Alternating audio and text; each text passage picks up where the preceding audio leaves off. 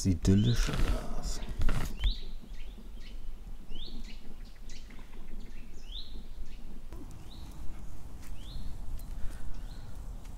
So, ich weiß zwar nicht, wie ihr geschlafen habt, aber wir haben sehr gut geschlafen.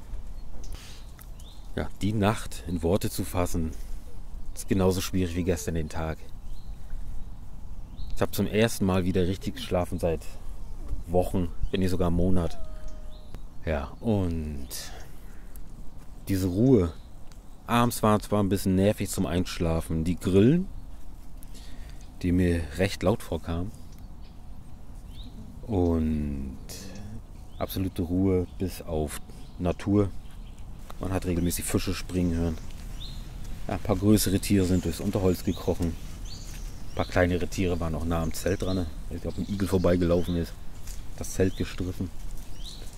Ja, was einen ein bisschen nachdenklich macht, sind, wenn Steine oben vom, vom Gebirge sich lösen und fallen runter. Durch die Bäume, durch die Baumkronen. Knallen dann auf den Boden. Das macht einen nachdenklich.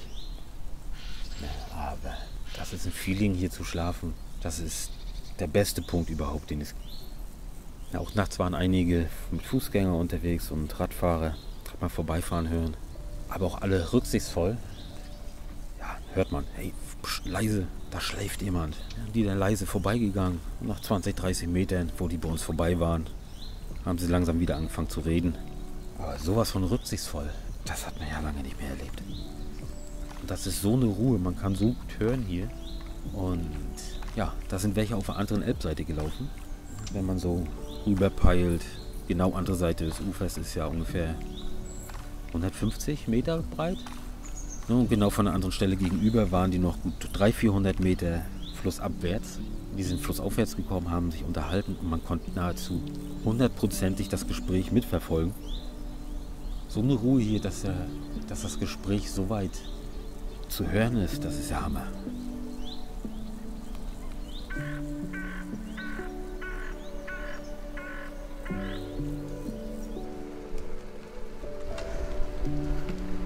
Wir haben es jetzt 7.30 Uhr. Unser Zuhause haben wir wieder eingepackt. Fahren jetzt wieder flussaufwärts Richtung Raden. Ja, die offizielle Route ist in der Karte südlich eingezeichnet, der Elbe. Und aber wir mal sehen, ob wir einen nördlichen Weg finden. Denn auf der ganzen Tour hierher waren ja genug Straßen und Wege nicht eingezeichnet, die aber trotzdem wunderbar zu fahren sind. Lassen wir uns mal überraschen. Ne?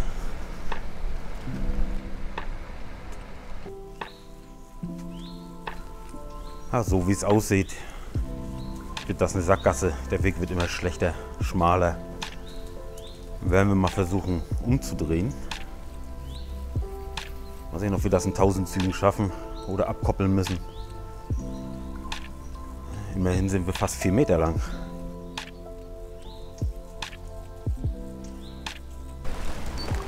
Dass wir wenden müssen, hat auch was Gutes.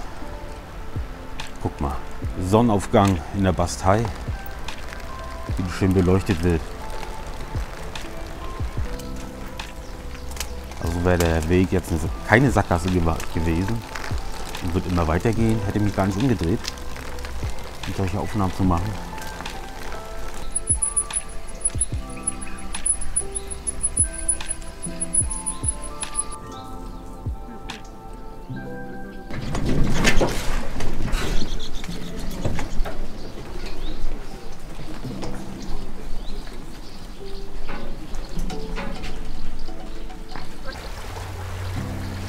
Ist jetzt auch die teuerste Fährüberfahrt, die wir bis jetzt hatten. Mit 3,50 Euro. Für die bisschen happy. Im Schnitt waren die Fähren um die 1,50, 2 Euro. So müssen wir nicht im Stundentakt drüber fahren. Die Schnecke.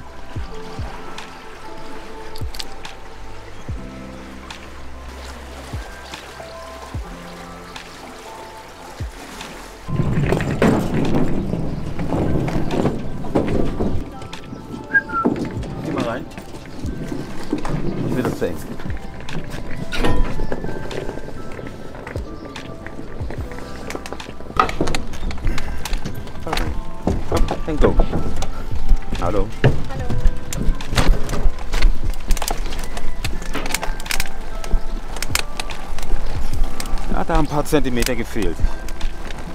Eben. Sind wir schleifen und rammen durch.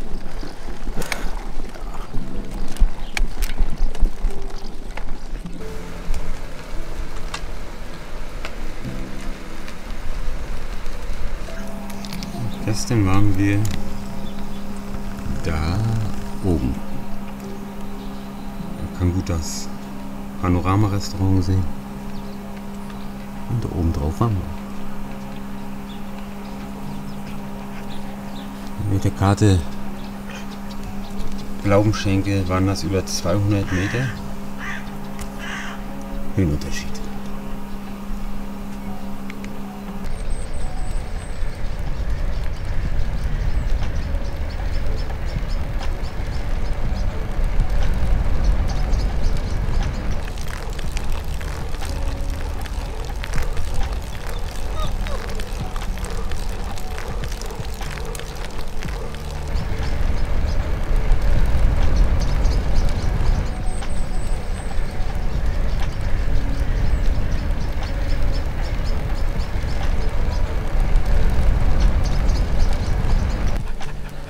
Oh, da vorne schon die Festung Königstein zu sehen. Ja, meine persönliche Dampflokomotive heute wieder Paula. 1 zu 1 klingt das wie eine Dampflokomotive. Oh Mann, ist die geil. Ja, so früh am Morgen ist ja richtig was los hier auf dem Wasser. Stand-up-Paddling, Kanufahrer schon gesehen. Also wenn das Wasser nicht so kalt wäre, was aus dem Berg kommt, würde ich hier baden. Hier hat die Strömung vom Bach eine schöne Wanne gespült ins Gestein. Da könnte man sich reinsetzen in das tiefe Loch, ins klare Wasser. Tausende Fische schwimmen hier drin rum. Aber eiskalt.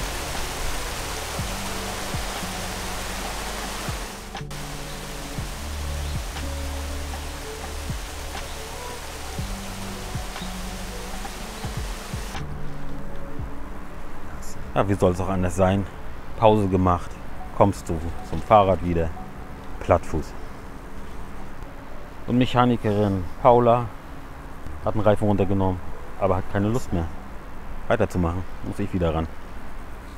Mann, Mann, Mann. Dieses Mädel.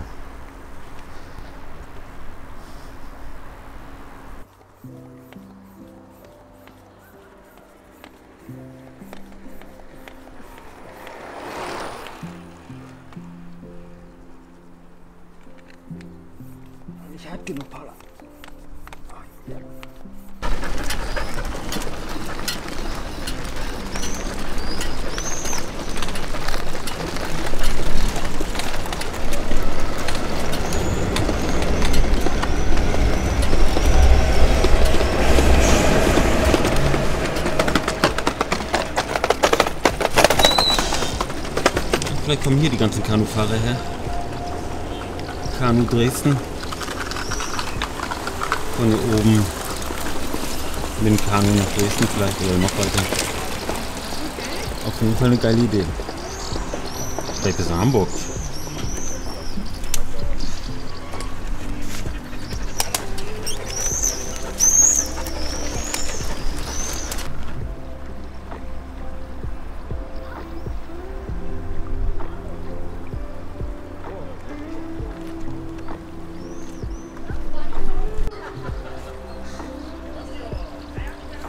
Ist ein Lappen, der den Kutter fährt. Wir stellen uns an, warten die ganze Zeit, bis alle runter sind. Er quatscht noch mit den letzten Fahrgästen und quatscht und quatscht. Ich fahr langsam rauf. Und erst wenn ich drauf bin, äh, reißt er die Klappe auf. Ja, andere Seite ist gesperrt, du kommst nicht bis Bad Schandau. Ich stand mal vor, die Klappe aufzumachen, wenn er anlegt. War groß und breit zu sehen schon auf, auf dem Steg. Nein, erst später, ganz am Ende, wenn du drauf bist, macht er die Klappe auf. Alter. Ja, so ein Profi, wie es das ist. Da kannst du den Kopf schütteln.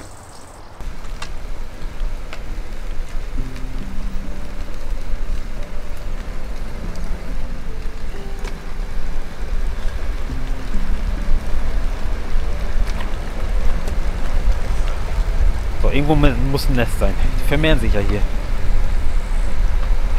Das ist wie auf der Autobahn.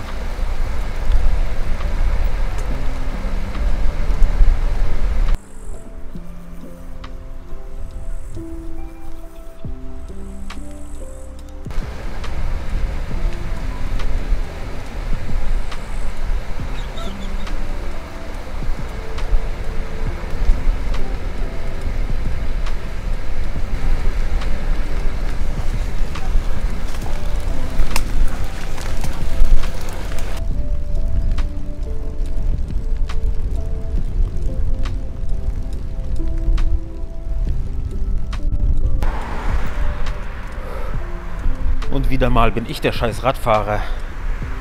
Der böse Radfahrer, der auf der Fahrbahn fährt. Alle Radfahrer fahren auf dem Gehweg. Ist nichts freigegeben für Fahrräder. Aber ich werde zugehupt, warum ich auf der Fahrbahn fahre. Ein LKW hat uns jetzt schon überholt. Arschknapp mit, Überho mit Hupen. Ja, und mein Sonnenhut flog dann schön weg. Schwimmt jetzt in der Elbe. Also den kann jetzt einer einsammeln, den Hut irgendwo. Hamburg oder so. Das wäre nett. Mann, ey. Aber sobald ich die Kamera rausgeholt habe. Du, alles ruhig hinten drin. Keiner hupt, keiner fährt mehr dicht auf, keiner überholt. Ja, also machen sie den Scheiß mit Hupen und eng überholen voll mit Absicht. Ja, und so, sobald eine Kamera zu sehen ist, die was aufnimmt, reißen die sich zusammen. Oh. Runter von der Stressstraße. Zum Glück hat hier im Band Schandau am Sonntag auch die Geschäfte offen. Ein bisschen was kaufen für uns. Obst, Gemüse, ein Saft für mich, ein schön. Ein bisschen eine Pause. Also so wie man meint,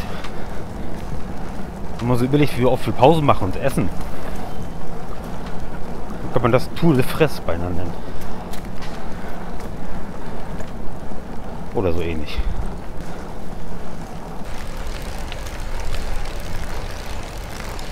Das ist ja stressig wie nichts. Touri-Stadt, Autos fahren durch. Gefühlt ist das eine Autobahn quer durch die Stadt. Aber naja.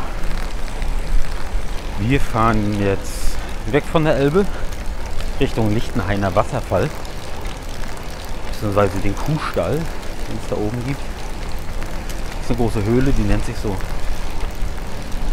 Ich bin mal gespannt, wann wir der ersten Straßenbahn hier ausweichen müssen.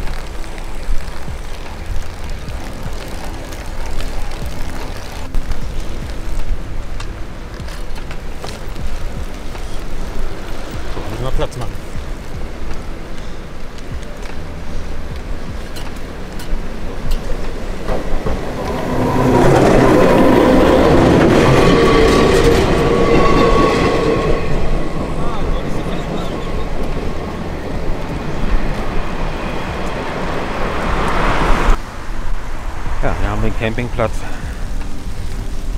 Ja, aber Campingplätze, die, die passen nicht so zu uns, unserer Zeitplanung. Wenn man sich anmeldet, muss man auch Kaution bezahlen, dass man den Platz sauber hinterlässt. Aber was ist, wenn wir losfahren wollen, ohne abzuwarten, dass äh, Personal kommt, um unser Pfand wiederzugeben? Dann wird es heißen, ja, wir behalten nämlich das Pfand. Und je nach Campingplatz habe ich schon mal gesehen, 20, 30 Euro wollen die haben. Ja, und darauf habe ich halt keine Lust. Ist nichts für uns. Wenn wir wach sind, sind wir wach. Wenn wir fahren wollen, wir, wollen wir fahren.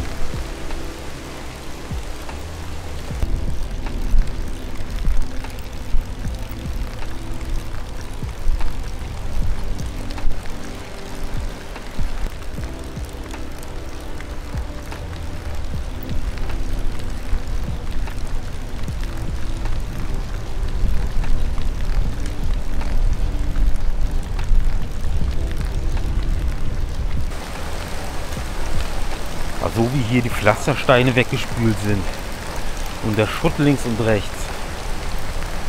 Da war ja auch die Bahntrasse. Garantiert überflutet. Ganze Straße unter Wasser. Das ist Hammer hier.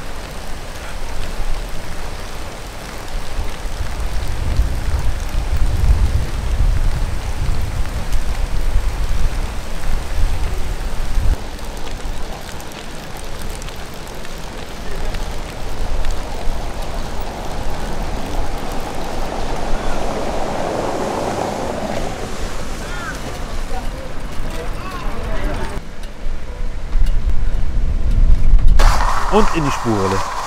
Pass. Ah. Naja, suchen wir uns einen Platz, wo wir uns hinstellen.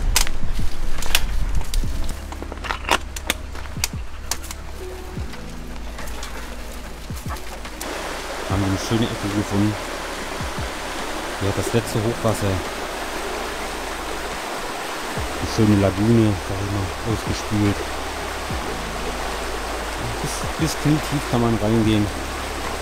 Eiskarte, Eis, eiskaltes Quellwasser. Das ist eine wahre Wohltat für die Füße. Mittlerweile haben wir auch zwei Stunden Pause hier gemacht. Frühstück und Mittag sozusagen in, inklusive. Zeit, also mal gucken, wohin wir jetzt fahren. Mal grob in tschechische Richtung. Mal grob in tschechische Richtung. Jetzt finden wir doch noch eine kleine, kleine Schutzhütte, wo wir die Nacht über verbringen können.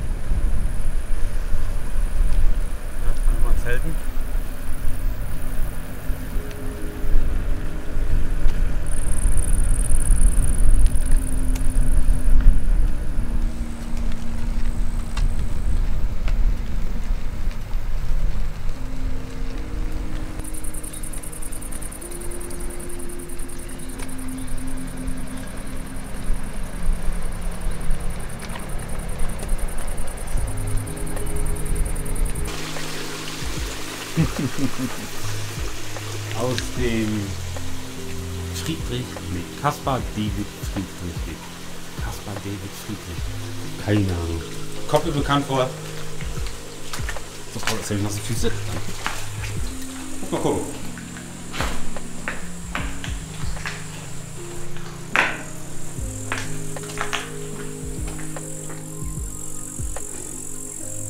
Zum Benutzen dieses Weges bitte bringen Sie eine Heckenschere mit. Benzin- oder Batteriebetrieben bevorzugt.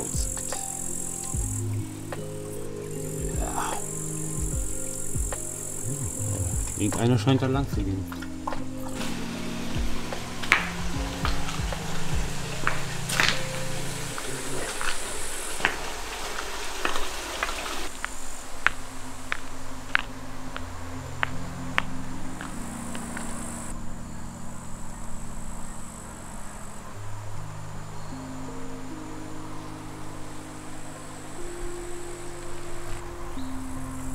Andere Seite der Elbe sehen wir ehemalige Grenzstation Deutschland-Tschechien.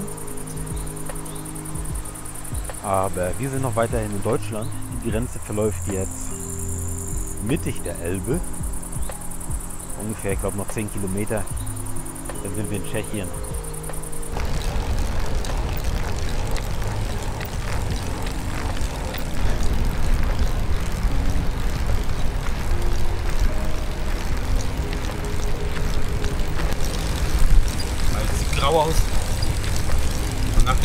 Den Flutschäden, die ich da eben gesehen habe, habe ich jetzt keine Lust, irgendwo am Rand zu campen.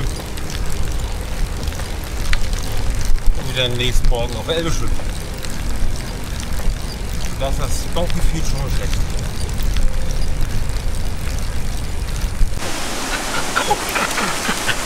Wer ist hier? Willkommen Tschechien. Das ist durchgelaufen. Ja, ist er gut. So, Paula. Ein U-Turn. Irgendwo.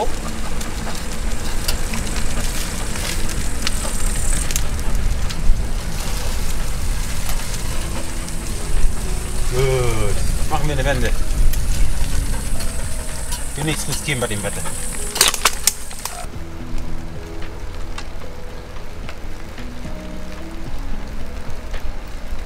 Ich weiß nicht, ob das für euch zu hören ist auf der Kamera.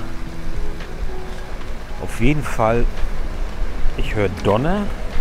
Also es gewittert irgendwo. Der Himmel ist auch ein bisschen grau, aber wir sehen ja nicht,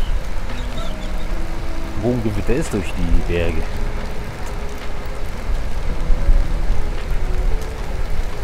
Ja, auf Gewitter habe ich jetzt keine Lust. Ich weiß auch nicht, was uns radwegmäßig uns erwartet in Tschechien. Also ich glaube, wir drehen mal um. Ein paar Stellen haben wir unterwegs ja gesehen, wo wir Schutz suchen könnten. Beziehungsweise wo wir übernachten könnten. Ja. Und wieder raus aus Tschechien. Also wir sind weitergefahren, als wir eigentlich vorhatten. Dresden war, ein, war das Hauptziel zu erreichen. Aber es ist weitergekommen. Bis nach Tschechien. Das können wir sagen. Von Hamburg nach Tschechien. Und weil wir ja gewendet haben, kann ich denn sagen, ich habe eine Runde gedreht in Tschechien mit dem Fahrrad. Klingt gut, ne? Können wir mal so nutzen. Ihr wisst, wie es war.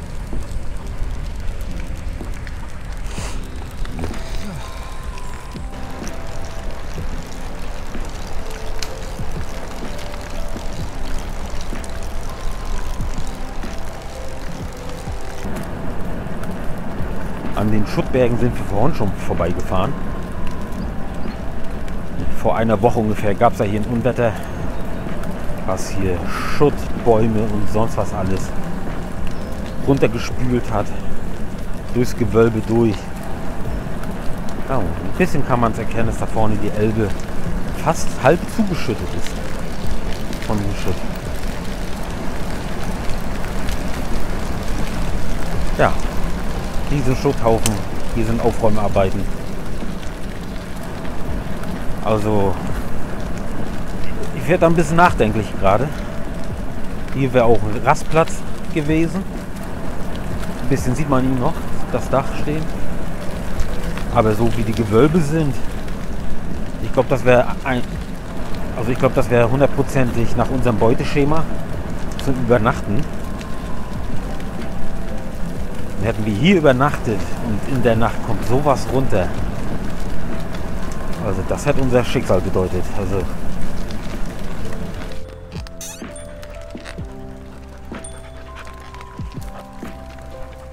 so, wir sind wieder Bad Schandau vorbei. Haben vor uns Gewitter Königstein. Festung Königstein ist anscheinend voll im Gewitter. Und das bewegt sich kaum. Ich weiß nicht, ob ihr das auch auf der Kamera seht. Die Blitze. Aber wir müssen ganz langsam fahren. Dass wir nicht reinfahren in den Gewitter. Aber zur Not haben wir einen Tab mit. Was einer von euch ja letztes Jahr zur Spende gegeben hat. Sachspende für die Reisen. Ne, also nochmal danke.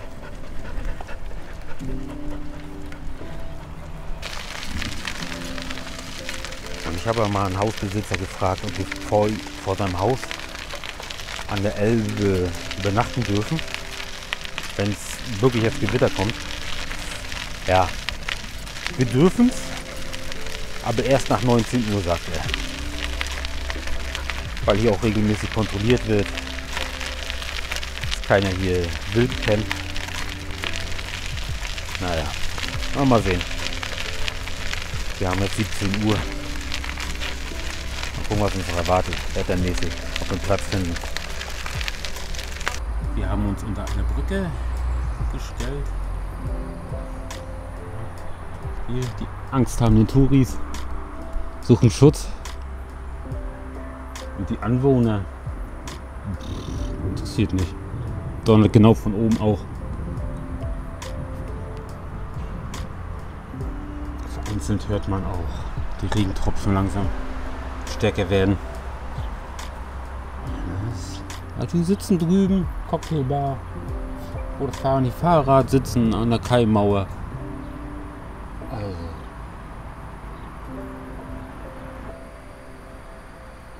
Einzige, was ich habe für Re Regenutensilien, ist das Überzelt vom Zelt, das Tarp und meine Jacke. Wobei meine Jacke nur eine Funktionsjacke ist, die vor Kälte schützt. Regentropfen saugt die mittlerweile Sekunden schnell auf. So, Foto umgewaschen. Also das Gewitter würde vor uns herziehen, wie es aussieht. Leichter Nieselregen nehme ich an. Das, kann doch eigentlich nicht sein Laub, mit Laubbäumen. Leichter Niesel. Den Donner hört ihr ja.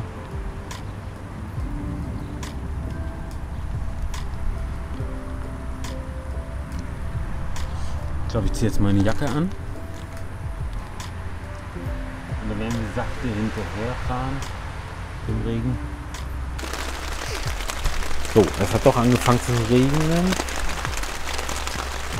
Ja, ich habe fix das Tat rausgeholt. Das Fahrrad über den Hundeanhänger geworfen. Paula schläft ein bisschen. Und ich bräuchte einen kleinen Hocker. Wäre vielleicht auch noch was. Einen kleinen Hocker, irgendwie mit einem kleinen Fallstuhl. Aber wenn ich mich hinsetzen würde, würde ich jetzt auf einem nassen, auf einem nassen Radweg sitzen. Und ewig kann ich nicht in Hocke bleiben oder mit gebücktem Rücken. Das geht nur aufs kaputte Knie und Hüfte. Naja, Karten spielen wäre schön. Paula spielt leider nicht mit mir. Ja, aber so jetzt hier Schutz unterzusuchen. Da kommen wieder Erinnerungen hoch aus der Kindheit, wo wir mit dem Kanu viel unterwegs waren auf der Mecklenburger Seenplatte. Wenn es geregnet hat, im Zelt Karten spielen. Mit meinem Vater oder anderen Bekannten, Freunde. Habt ihr auch irgendwie was, was ihr bei Regen irgendwie macht, wenn ihr unterwegs seid? Ablenken, was lesen, alleine Karten spielen, mit Kunstpulver. Schreibt mal rein, was man so schön machen kann. Kreuzworträtsel, keine Ahnung.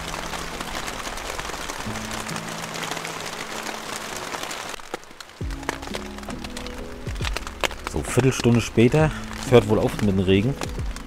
Was jetzt noch runterkommt, sind ein paar Tropfen von, von den Bäumen.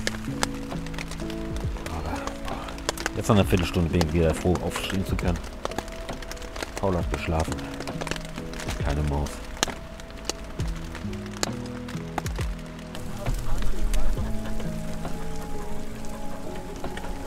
Ja, da sind die beiden wieder. Die hatten auch Schutz gesucht am Elbufer, haben angelegt, um beim Regen irgendwo Schutz zu suchen, aber, aber dem war bloß eine Wiese. Also die konnten bloß irgendwo sitzen auf der Wiese. Keine Bäume haben sie nichts gehabt.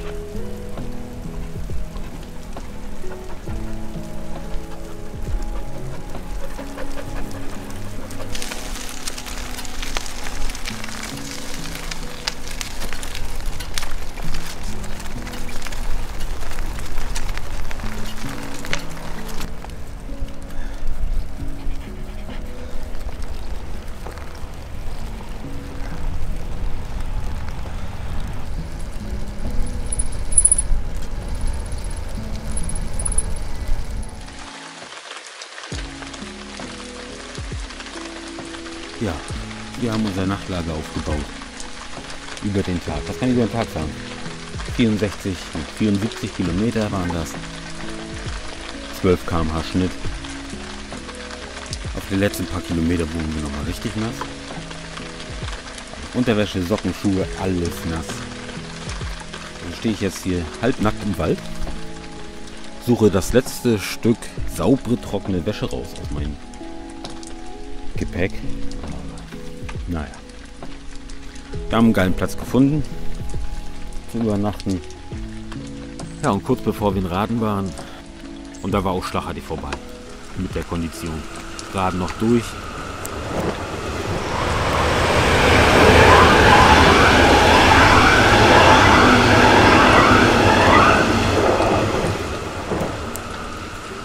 Raden noch durch.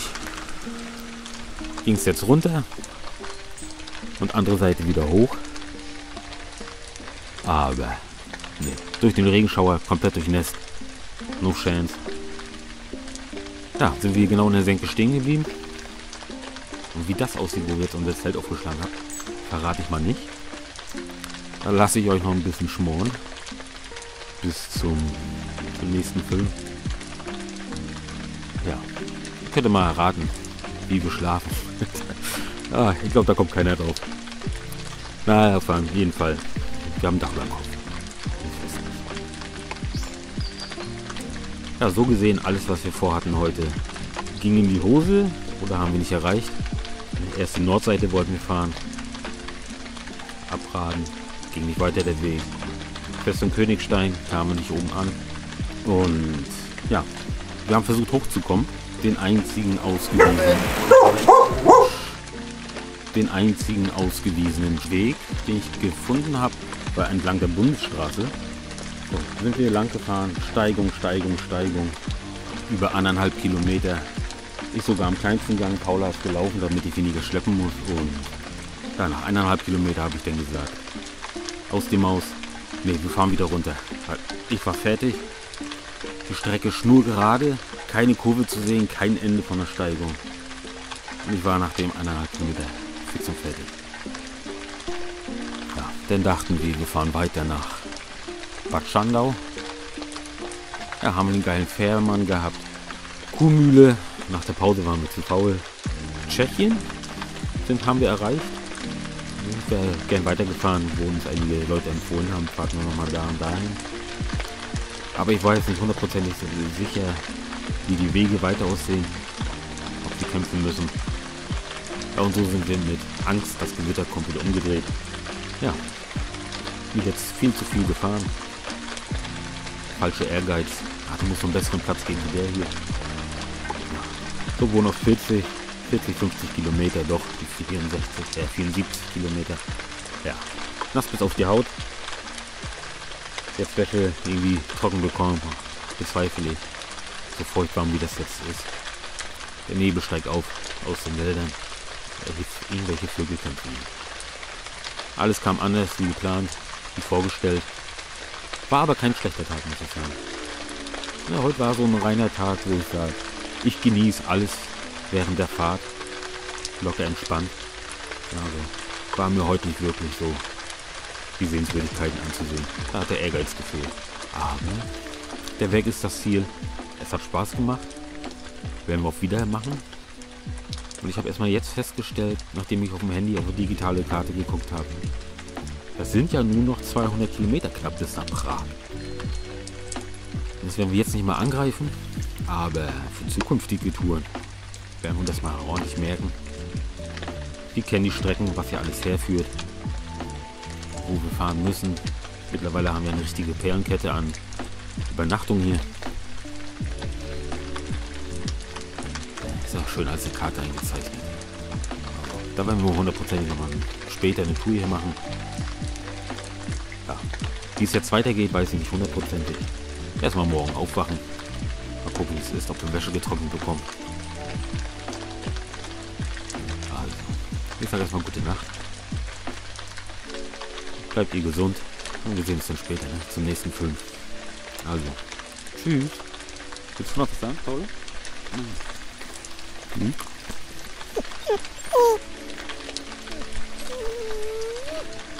Ja, ist das Spiel, ne? Naja, wir müssen mal was für Essen kochen. Paula hat schon, aber ich mache mir noch eine Tütensuppe warm. Das wird schon.